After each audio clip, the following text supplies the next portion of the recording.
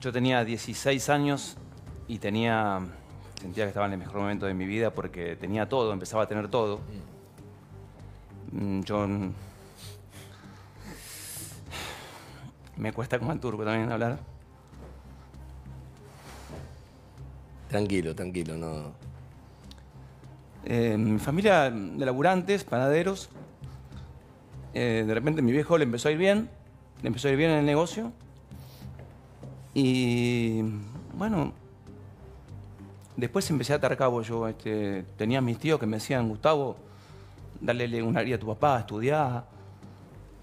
No entendía nada yo.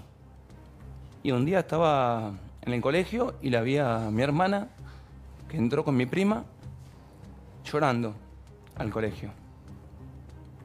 Y bueno, este, le dicen algo a la profesora, la profesora dice, López, tiene que salir.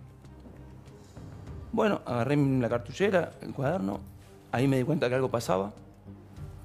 Y bueno, nos fuimos desde Lanús, que yo vivía, iba al colegio en Pavón, hasta el Instituto del Diagnóstico, sabiendo que por supuesto mi hijo estaba enfermo, pero yo pensé que tenía fiebre, pensé que tenía angina, ¿no? nunca sabía que estaba enfermo mal.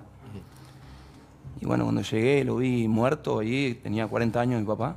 40 años. Sí, muy joven. Yo tenía 16. Y se vino mundo abajo.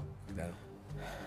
Y, y bueno, pasé a ser un rebelde. Yo era un rebelde. No era el más estudioso, no era el más trabajador. Y de repente a los 16 años estar solo ahí, este, ser el, el mayor de los hermanos en mi casa. claro. Tenías que ocupar ese rol. Sí, pasar a ser el dueño de la panadería, tener 20 empleados. Claro. todo muy difícil. Y bueno, mi papá era, nos llevaba de vacaciones, nos llevaba, nos traía la comida, era todo para nosotros. Claro. Y se nos vino el mundo abajo. Y bueno, fue, fue difícil, fue difícil. Me mandé mil cagadas en mi vida, mil cagadas. Y a los seis meses me acuerdo que tuve un accidente gravísimo yo también porque eh, empecé a manejar, no tenía que, que laburar. Y un día me acuerdo que nos quedamos sin pan de miga, esos panes de miga grandes que son para hacer sándwiches de miga. Y entonces llamo a mi tío y le digo, tío, ¿tenés pan de miga? Me dice, sí, venía a buscarlo. Fui con el auto a buscarlo y cuando, cuando vuelvo, me acuerdo, un domingo, este, tenía el, el semáforo en verde, acelero para que me agarre en verde y de repente se me vino un colectivo. Y bueno, cuando me desperté, estaban los bomberos cortando el auto. Ah, uh. Wow. Eh, y zafaste de. Zafé de, zafé de pedo. Sí, tuve tres, tres días internado en Lomas, en un hospital.